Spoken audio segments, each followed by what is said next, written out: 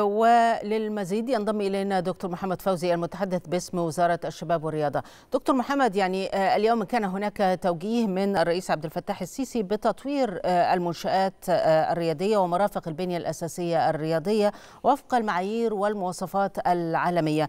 ما الذي يشمله التطوير الشامل لمجمع هيئة استاد القاهرة؟ بالفعل يا فندم يمكن النهارده كان اجتماع هام جدا بحضور فخامة الرئيس عبد الفتاح السيسي جمع الدكتور أشرف صبحي وزير الشباب والرياضة والدكتوره هاله سعيد وزيره التخطيط والتنمية الاقتصادية والدكتور محمد معيط وزير المالية.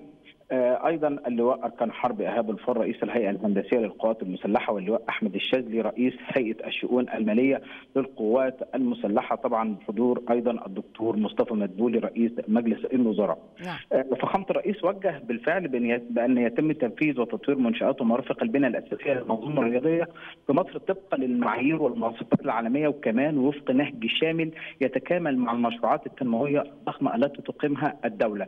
كمان بيؤهل مصر لامتلاك القدرات ذات المواصفات والمعايير القياسية الدولية واللي بتتيح تنظيم واستضافه كبرى البطولات العالمية في مختلف الألعاب خاصة مع تكامل منظومة المدن الرياضية الحديثة في مصر.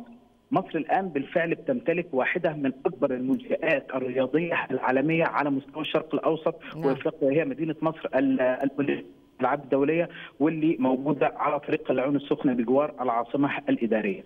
طبعا مصر الآن أصبحت قبله للاحداث والفعاليات الرياضية، مصر أصبحت واحدة من أفضل دول العالم تنظيما للبطولات الرياضية، ده جاء وفقا لايمان فخ... لايمان فخامة السيد الرئيس عبد الفتاح السيسي بالرياضة، آمن بها وجعلها واحدة من أهم مقومات الدولة الشاملة فكانت الانطلاقة على جميع المستويات. هيئة استاد القاهرة هتصبح هيئة اقتصادية هتدر دخل كبير جدا وهتساهم في دعم الاقتصاد الوطني مثلها مثل بقية المنشآت الرياضية.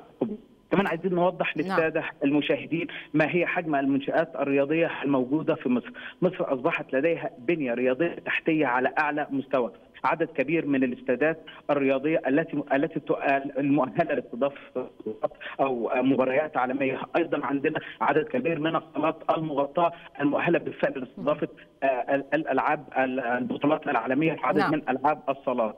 اذا إحنا أمام الآن طفرة رياضية كبرى وبنستكملها وفقا لتوجيهات فخامه السيد الرئيس عبد الفتاح السيسي وفقا للم... وفقا للضوابط والمعايير العالمية واللي هتؤهل مصر في المستقبل لاستضافة بطولة كأس العالم وأيضا دورة الألعاب الأولمبية إذا ما أتيح ذلك.